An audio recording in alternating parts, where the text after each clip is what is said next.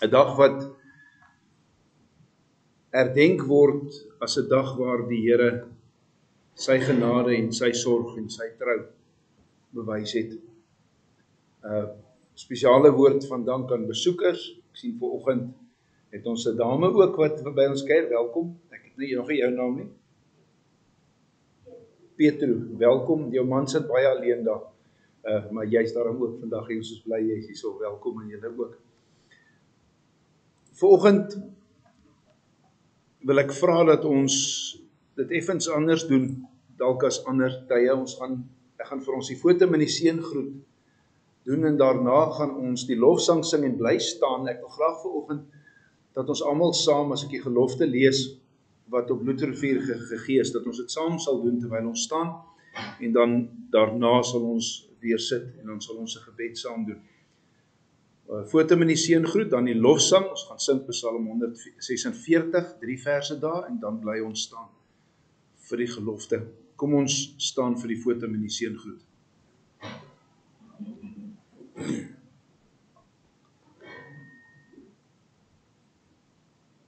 Ek slaan my oop na die berge. Waar sal my hulp vandaan kom? My hulp is van die Here wat hemel en aarde gemaak het. Geliefdes, genade, barmhartigheid en vrede van God ons se Vader en Christus Jesus ons Here deur die kragvolle werking van die Heilige Gees. Amen. Ons sing, ekskuus, ekskuus Antie, ons sing Psalm 146, die eerste, die vierde en die agste vers.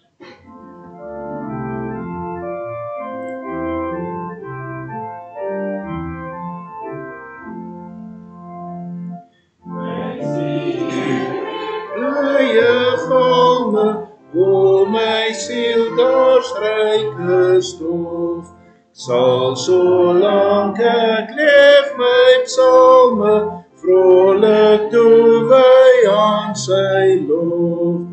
En om wat sy guns my bied altyd groot maak in my lief.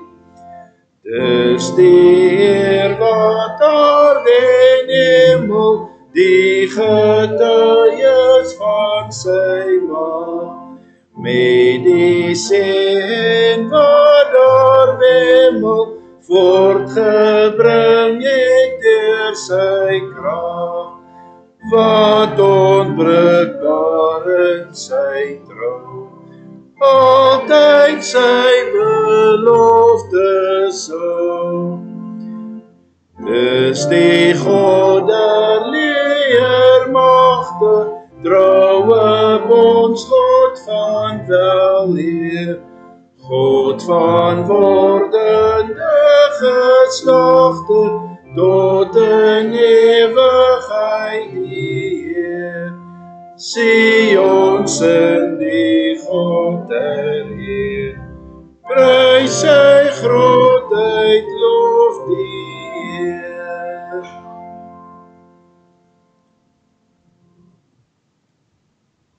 Hier staan ons voor die heilige God van hemel en aarde om 'n gelofte aan hom te doen.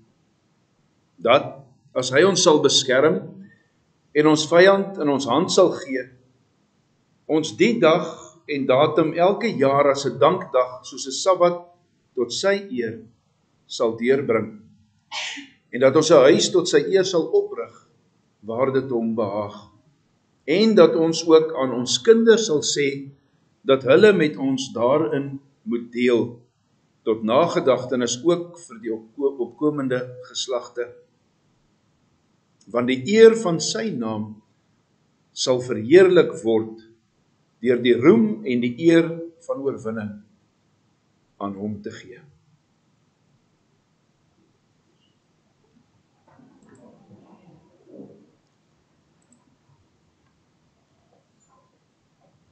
Geliefdes,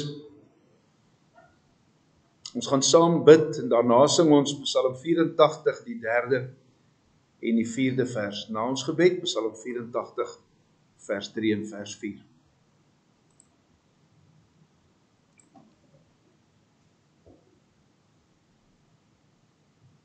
Ons troue God en hemelse Vader. Here ons is vanmôre as u gemeente hier by mekaar. Maar ook saam met soveel ander deur die land vandag waar 'n gelofte wat aan u gemaak is herdenk word, nagekom word o Here. Ja Here so dikwels wonder ons en so dikwels hoor ons maar het ons steeds daaraan deel.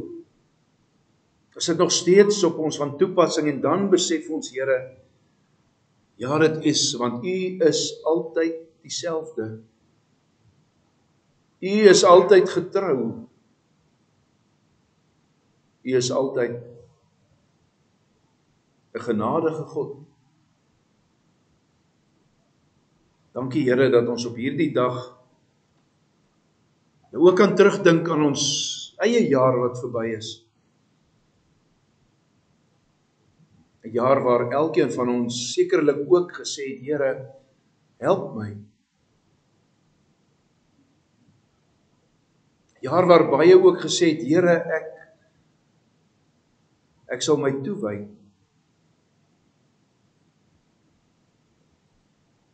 waar ons dan ver oggend bymekaar is, Here, wil ons vra deur die woord kom leer ons. Kom leer ons waaroor gaan 'n gelofte aan U. En gee Here dat ons U Gees sal hoor, U Gees sal beleef in U Gees sal getuig. In Jesus naam bid ons dit. Amen. Ons gaan net so sit dan sing ons saam Psalm 84 die 3de en 4de vers. Welsalig is die mensekind wat al sy sterkte in U mag vind en op mag gaan na Sion se hoogte. Wanneer hulle haas van dors verkwyn, dan is die Heer self hul fontein waar dorsland smag na somerdroogte ook sal 'n reën hul daaroor dek wat hul tot nuwe lewe wek. Hul sal van krag tot krag steeds gaan totdat hul voet in Sion staan. Geen een wat daar nie sal verskyn nie. Let, Heerde leerskare, let op my geroep, hoor my gebed en laat my nie in druk verkwyn nie. Leen my 'n toegenee oor, o Jakob se God. Gee my gehoor vers 3 en 4 Psalm 84.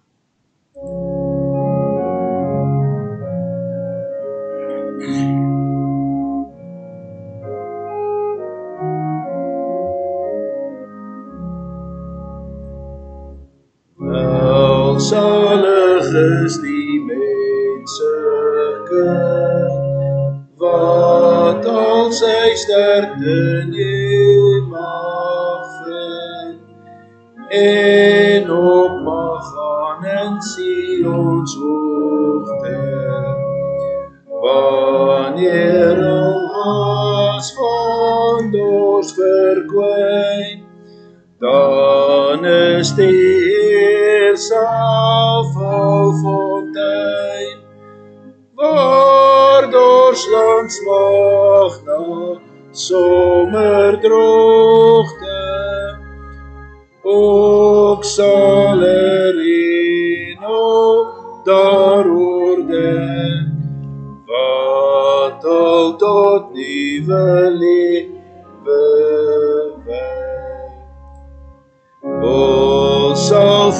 krag tot krag steeds gaan totdat al voet in Sion staan geen eer wat daar nie sal verskyn nie let eer der leer skare net op my geroep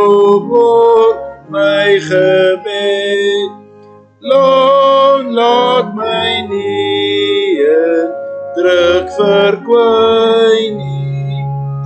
Leen my toegenie oor o Jakobs God gee my ge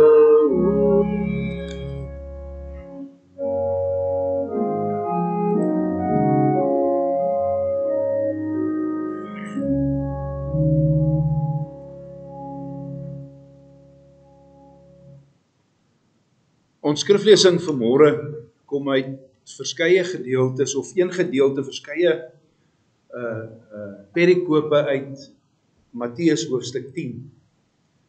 Matteus hoofstuk 10, ek gaan vir ons daar 'n uh, verskeidenheid van verse lees. Ek begin by vers 7 en 8 en daarna vanaf vers 16. Gaan verkondig die volgende Die koninkryk van die hemel is op hande. Maak die siekes gesond, wek dooies op, reinig melaatses, dryf demone uit. Julle het dit verniet gekry. Verniet moet julle dit uitdeel. Vanaf vers 16 kyk ek stuur julle uit so skape onder die wolwe. Wees dan behoedsaam so slange en onskuldig soos duwe.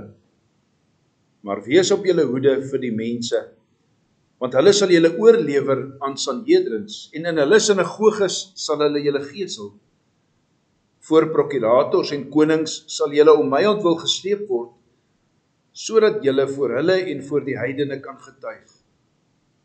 En wanneer hulle julle oorlewer, moet julle julle nie bekommer oor hoe en wat julle moet sê nie want wat julle moet sê sal op daardie oomblik aan julle gegee word. Dit is immers nie julle wat praat nie, maar die gees van julle Vader wat deur julle praat. Moet hulle daarom nie vrees nie. Daar is immers niks bedek wat nie openbaar sal word nie, en niks verborge wat nie bekend sal word nie. Wat ek vir julle in die donker sê, sê dit in die lig. En wat julle in die oor hoor, verkondig dit van die doekstoepe af. En moenie diegene vrees wat die liggaam kan doodmaak, maar die siel nie kan doodmaak nie. Vrees eerder hom wat beide die siel en die liggaam in Gehanna laat vergaan. Word twee mossies nie vir 'n Asarius verkoop nie. En nie een van hulle sal op die grond val sonder julle Vader nie en julle selfs die hare op julle kop is almal getel. Moet dan nie bang wees nie. Julle is meer werd as baie mossies. Daarom elkeen wat my voor die mense bely, sal ek voor my Vader in die hemele bely. Maar wie my voor die mense verloon, sal ek ook voor my Vader in die hemele verloon wil graag weer die laaste tweede laaste vers Matteus 10 vers 32 lees. Daarom elkeen wat my voor die mense bely, sal ek ook voor my Vader in die hemele bely. Tot sover uit die woord van God vanmôre.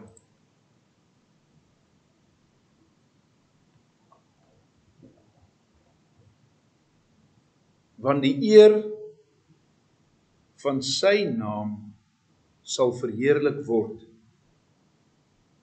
deur die roem en die eer van oorwinning aan hom te gee. Geliefde broeder en suster, daar is so wye verskeidenheid gevoelens en sentimente rondom gelofte dag. Vir sommiges gaan gelofte dag net oor die Afrikaner volk.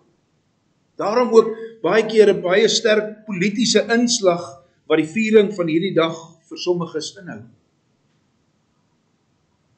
En ek respekteer dit. Ander weer ander weer oordeel dat gelofte dag nie oor oor die volk gaan nie, maar oor die kerk. Daarom die klem op die geloof. Die geloof van hulle wat die gelofte afgelê het. Diegene wat so voel Ek respekteer ook hierdie standpunt. Tog dink ek dat gelofte dag nie oor een van hierdie twee aspekte gaan nie. Tog dink ek dat gelofte dag nie oor enigiets anders as net God kan gaan nie. Nog anders gesê, gelofte dag handel oor die Here God en sy voorsienigheid. Hoe hy elke dag na jou en my kyk, elke dag vir ons sorg. Wanneer die vraag gevra word, maar wat beteken die voorsienigheid van God? Is dit altyd goed om weer te gaan kyk na die skrywers van die Heidelbergse Katekismes? Wat het hulle oor voorsienigheid gesê? Hulle het gesê, daar staan in die Heidelbergse Katekismes, die almagtige en oral teenwoordige krag waardeur hy hemel en aarde en al die skepsels asof met sy eie hand nog onderhou en so regeer dat lower en gras, reën en droogte, vrugbare en onvrugbare jare, voedsel en drank, gesondheid en siekte, rykdom, armoede en alles ons nie per toeval nie, maar uit sy Vaderhand toekom. En dit is waaroor gelofte dag gaan. Broers en susters, hierdie is hierdie is geloofstaal. En hierdie is dalk 'n 'n 'n moeilike geloofstaal. Dis iets wat nie net die kinders dalk moeilik verstaan nie, maar ook ons as as volwassenes. Want dit is baie maklik om so te praat as alles voor die wind gaan. Is baie maklik om te getuig dat die Here voorsien en onderhou as ek alles het wat ek nodig het en daar nie bekommernisse en vrese is nie. Wanneer die groen gras in my lewe moet plek maak vir vir doodgeskroeide, verskroeide bruinkolle, doodoop stukke aarde. Wanneer gesondheid plek maak vir siekte en rykdom vir armoede, wanneer wanneer jy en ek dit aan ons lyf begin voel, dan is dit nie meer altyd so duidelik hoe God se voorsienigheid werk nie. Is dit nie waar nie? Wanneer jy afgedank word en daar nie vooruitsigte is vir 'n nuwe werk nie. Dan vra ons dalk die vraag maar maar is dit hoe God voorsien? Is dit hoe hy na my kyk? Wanneer jy na 'n dokter toe gaan en die dokter sê vir jou maar maar die siekte wat jy onderlede het is ongeneeslik. dan is daar soveel kere en soveel mense wat wonder oor God se rol daarin. Wanneer 'n klein kindjie ongeneeslike siekte kry as gevolg van 'n bloedoortapping.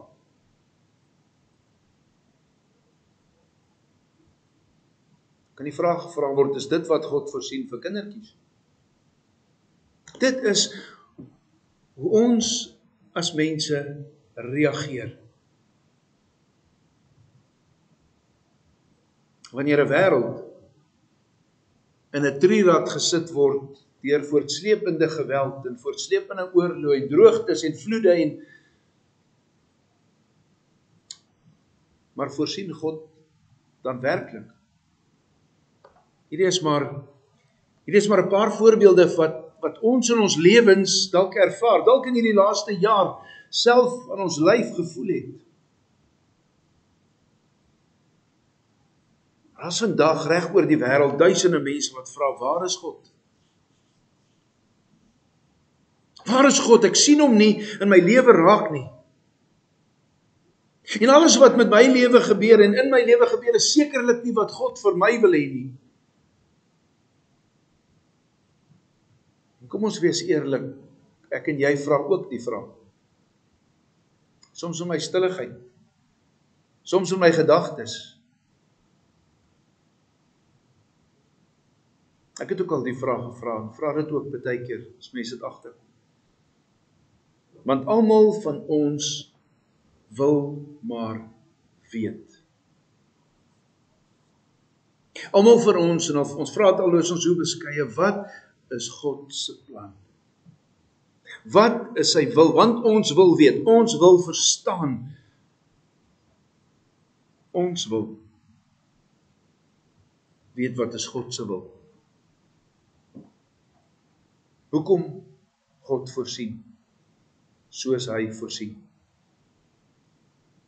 16 Desember 1838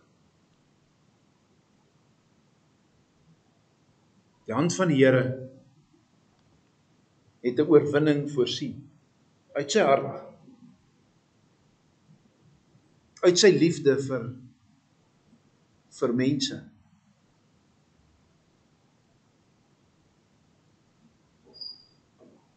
Hoe maak dit sin vir jou en my? Wat beteken daardie dag daar by Bloedervuur vir jou en vir my? Sien God my ook raak? Weet hy wat met my gebeur? En dit is die gedeelte wat ons saam gelees het. Want Jesus het op 'n keer hierdie vraag of of soortgelyke vrae kom beantwoord. Kos twee mossies nie eintlik niks nie.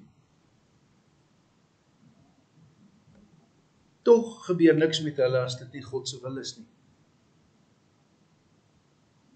Nou kom die Here en hy kom sê vir jou en my en Jesus leer die mense so is dit ook met julle wat julle as as mens en op daardie stadium preek hy nog en dit is nie net met volgelinge van hom hy praat van van die mensdom is tog meer werd as 'n mossie.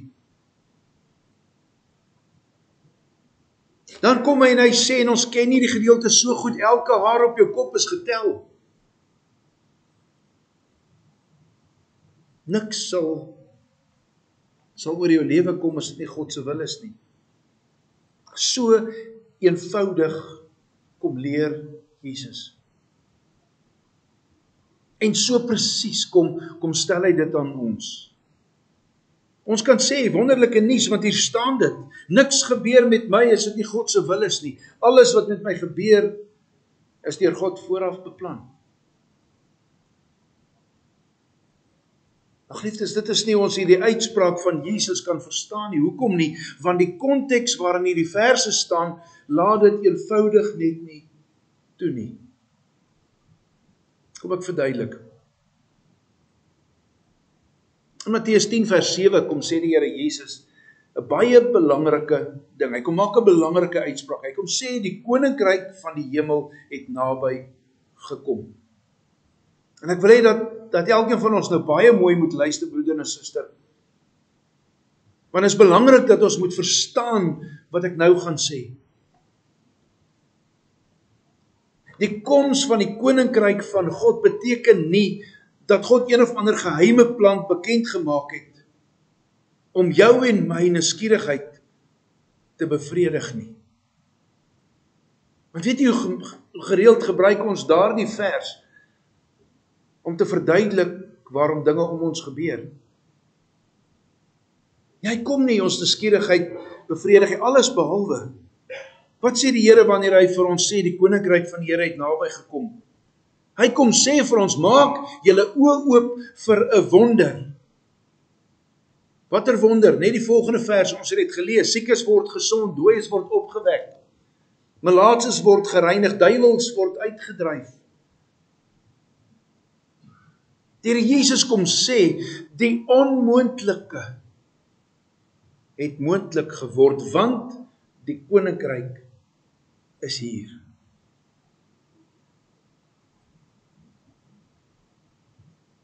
Nie eendag nie. Nou reeds.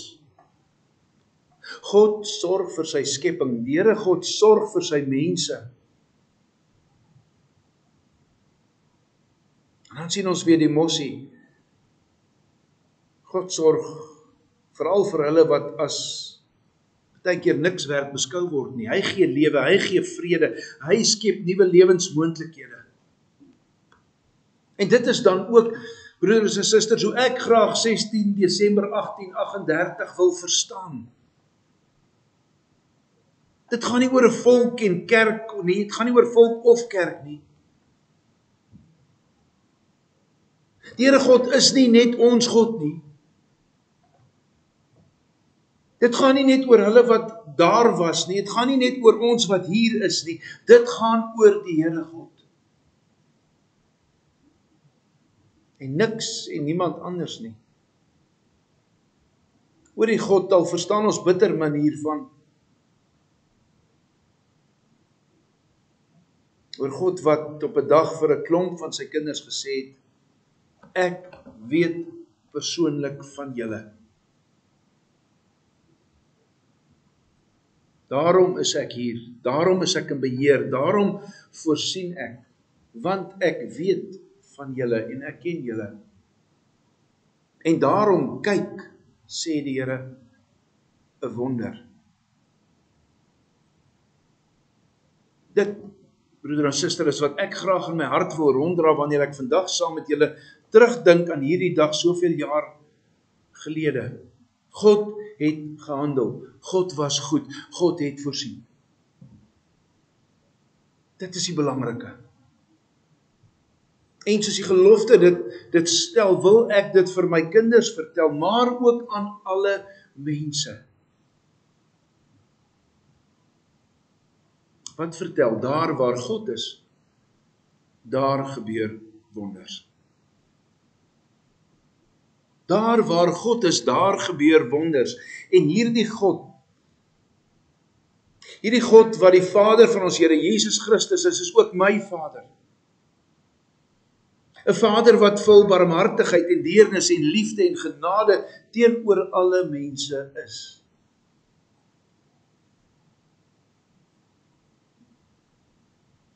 Vandag wil ek een en elkeen van julle uitnooi om dit saam met my te doen. Dat ons dat ons soos wat op uh, uh, uh, Matteus 10 vers 32 dit stel openlik voor alle mense sal getuig. dat elkeen van ons wanneer ons hier uitstap sal sê so is my God. So is my Vader wat in die hemel is. Waar hy is gebeur daar wonders. Maar dan wil ek 'n sinnetjie bysit met die gevolge daarvan. Ek sê weer met die gevolge daarvan watter gevolge, watter konsekwensies dat ek waar ek kom nie net waar ek voel ek wil getuig nie dat ek waar ek kom bereid sal wees om die wonders van God oor te vertel. Wat is die wonders, die grootste van alles dat die Here God sondes vergewe. Dat hy vol deernis is vir alle mense, dat sy barmhartigheid wyer strek as enige menslike grens wat gestel gaan kan word. Dat sy barmhartigheid nie net daardie dag gegaan het oor die groepie mense wat wat die oorwinning behaal het nie maar ook oor almal om hulle. Ook vir die opkomende geslagte maar dat ek dit nie net sal vertel nie dat ek ook bereid sal wees om dit te leef dat waar ek en jy kom dat ons vir mense kan sê vrede vir julle. Vrede vir julle van God, ons Vader. En dat ek terwyl ek dit doen nie sal bang wees vir vir die wat my liggaam kan doodmaak of dat ek vervolg sal word of dat ek uitgestoot sal word nie want want ons het nie die vervolging van baie kerke waar mense se lewens bedreig word nie, maar ek wil tog so graag net deel wees van die groepie. Want hulle wat hulle openlik voor God uitspreek, sê Jesus is baie meer werd as mossies. Die vraag is nie broeder en suster of God 'n plan het nie. My vraag is, het God 'n hart? by Bloedrivier. As ons terugkyk, het ons nie die Here God se plan gesien nie. Maar die Here God se hart. Wat sê God se hart?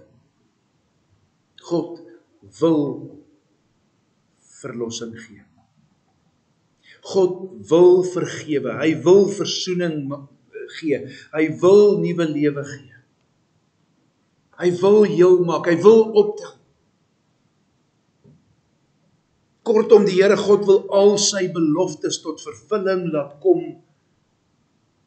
vir sy kinders. En dit is hoe God met mense bemoeienis maak. En daarom moet ons wie ook God se kinders is dieselfde doen omdat omdat God met al sy kinders bemoeienis maak, moet ons ook met al God se mense bemoeienis maak. As ons wil hê dat ons in God se hart moet wees, moet ander ook in my hart wees. Weet jy wonderlike is, ons is in God se hart. Hy dink aan sy kinders. Ek gebruik baie die voorbeeld. Ek sê in die Bybel lees ons Abba Vader. As ons daardie Abba reg vertaal dan dan is dit nie vader of pa nie, dis pappa. So naby. So intiem. Die Here God wil hê jy en ek moet op sy skoot sit by wyse van spreuke met my oor teen sy bors en hoor hoe sy hart vir my klop.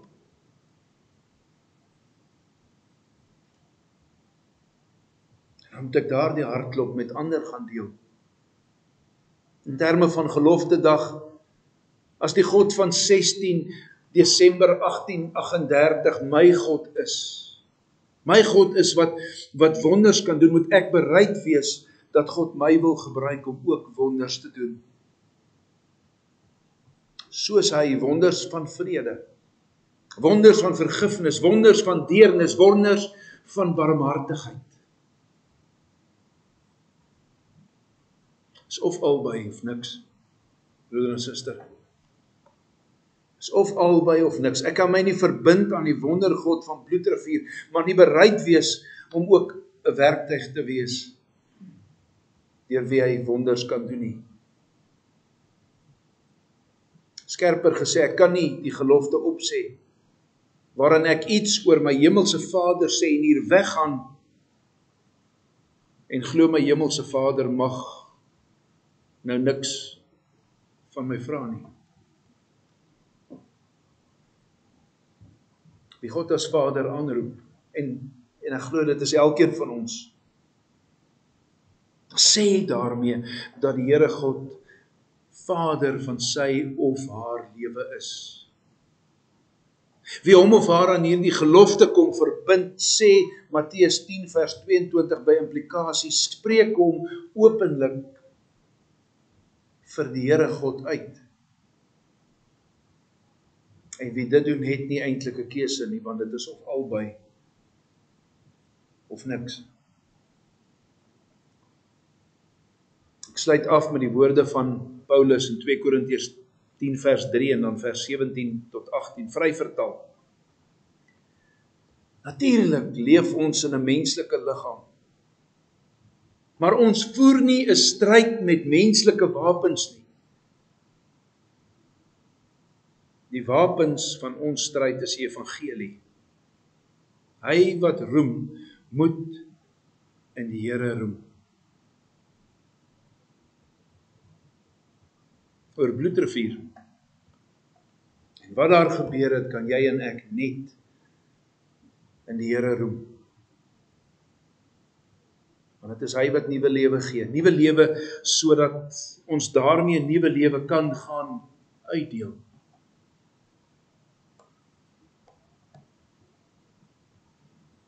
Geliefde, jy en ek het dit verniet ontvang.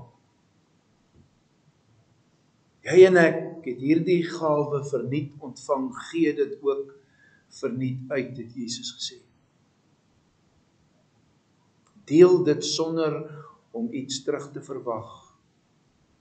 En ons enigste wapen wat ons nou gehoor waarmee ons dit kan gee, is die evangelie, is die blye boodskap van God. Kinders wat so lewe is baie meer werd as twee mossies. Hier staan ons voor die heilige God van hemel en aarde om 'n gelofte aan hom te doen.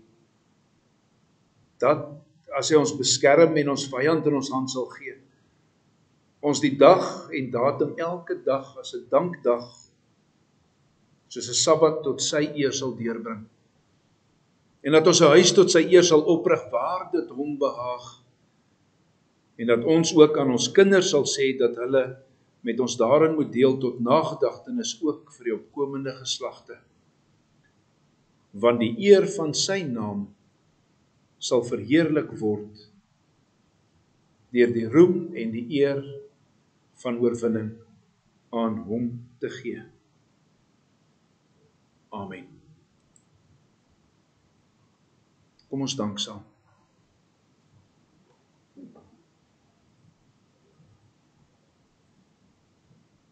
Onse Vader wat in die hemel is. Abba Vader. Dank en ons loof U vir u hart, Here. Here waar ons vandag terugkyk na soveel jare gelede waar u op hierdie dag 'n wonder laat gebeur het.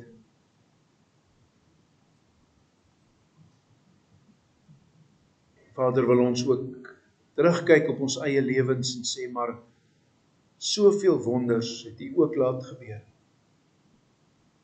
Dankie Here dat dat daardie dag 'n getuienis was van waar U is, daar is wonders. En wonders tot eer van U naam, nie nie vir enige ander rede nie. Here Jesus, dankie dat U gesê die koninkryk is hier. Nou reeds is die koninkryk daar. En in daardie koninkryk leef elkeen van ons ook vandag as oorwinnaars, meer as oorwinnaars.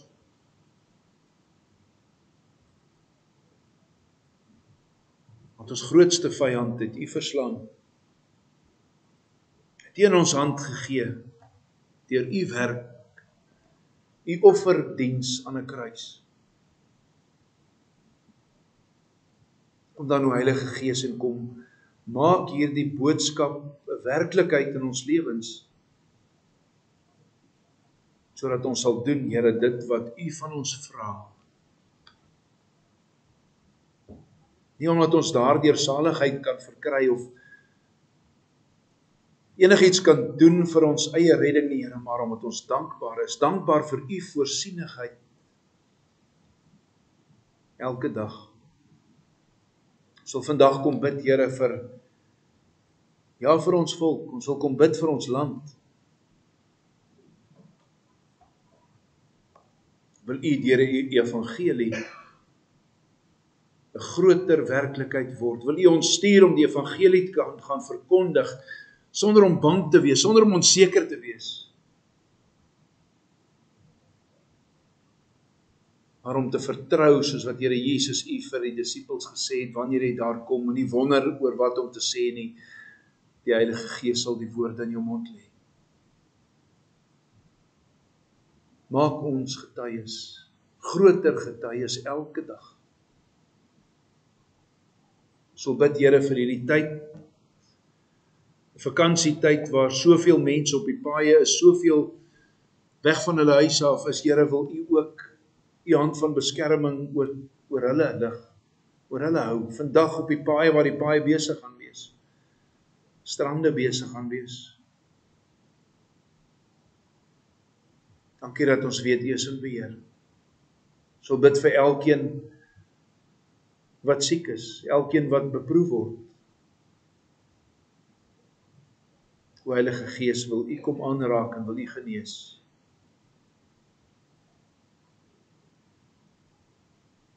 Here, U sal weet en U is almagtig. Hy is genadig.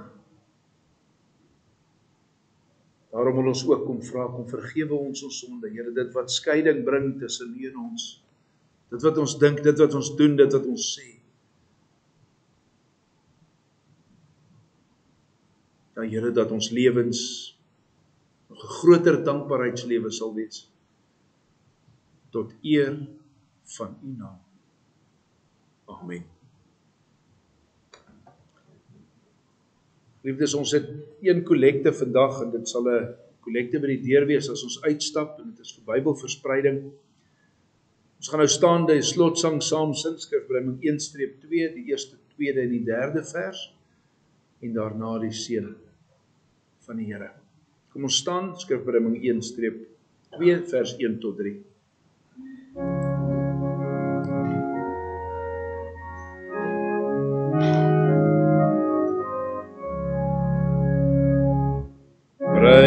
Die hemel God op sy verhewe troon. Loof hom aan wie die hemel God alde steeds betoon. Aan hom die skepper Heer, kom toe die eer en mag. Sy woord het alles voortgebring, roem ewig sy gesag. Loof om die lam van God, want hy is vir ons geslag. Hy het ons met sy bloed gekoop, besing sy reddingsmacht uit elke stam en taal het hy ons vrygemaak sy koninkryk sy priesterdom dit het hy ons gemaak.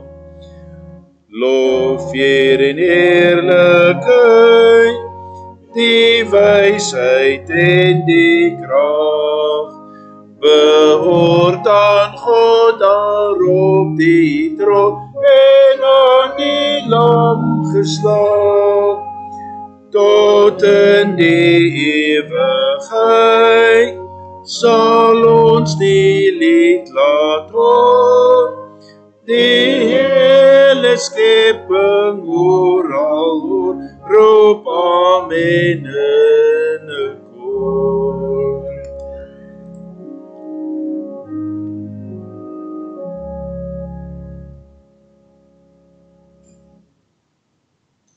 Ontvang nou die seën van die Here. Gaan in sy vrede. Die Here sal jou seën en jou behoed. Die Here sal sy aangesig oor jou laat skyn en jou genadig wees. Die Here sal sy aangesig oor jou verhef en aan jou sy vrede gee. Amen.